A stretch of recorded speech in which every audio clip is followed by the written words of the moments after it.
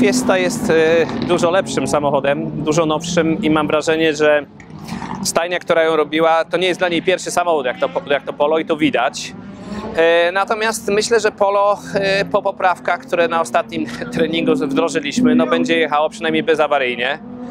Jeśli chodzi o Fiestę, to jedyny mankament dla mnie to jest brak miejsca. Ten samochód, w tym samochodzie jeździł e, zawodnik, który chyba był trochę niższy. W związku z tym kolanami prawie dotykam kierownicy, ale to jest rzecz, do której się można przyzwyczaić. Także cieszę się, że zawody ostatnie są tak duże, że frekwencja dopisała. No i mam nadzieję, że w dużej klasie supercarsów, bo jest nas chyba 14 z tego co wiem, e, no powalczę. No przy na podium to jest taki plan, który bym chciał minimum zrealizować.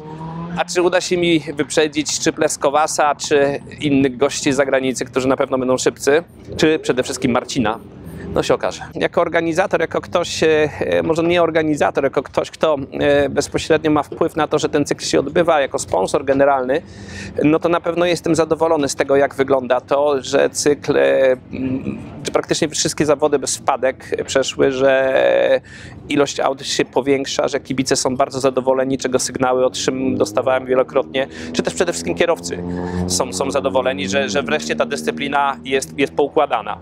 E, No i myślę, że przyszły rok e, będzie jedynie lepszy. Natomiast jeżeli chodzi o, o osobiste odczucia, no to dla mnie to jest drugi rok z rzędu kłopotów e, technicznych.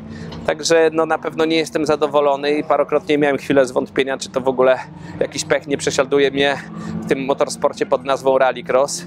No ale przecież się nie poddam.